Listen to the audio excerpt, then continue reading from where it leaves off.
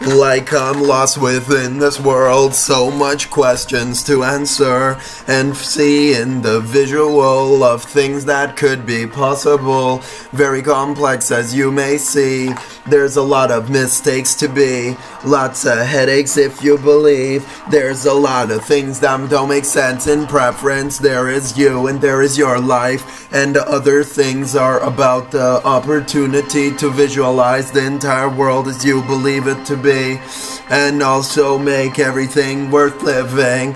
Of all this time, it makes it confusing, and there is probably some Asperger syndromes as you see, but that isn't the biggest problem. Maybe the opportunity to the knowledge and to the belief of everything that is gonna be very complicated because when you try to open up your mind, everything is harder. It is a lot easier, like George Carlin said, to be living in a life that is gonna be neglected by all the truth out there. And there is a lot of truth and there's a lot of unknown, and you're gonna gotta regulate it somehow. And it could be very complicated, and I don't know.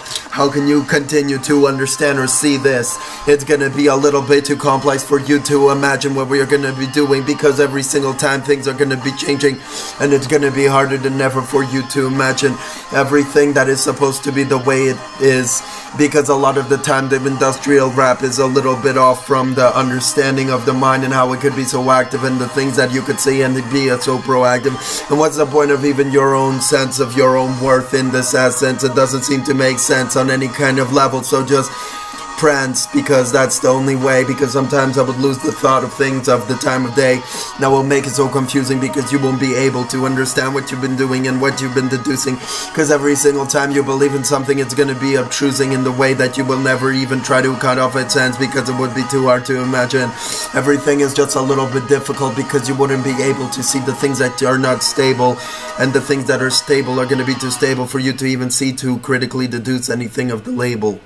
Thank you and that's the confusing mind enabled.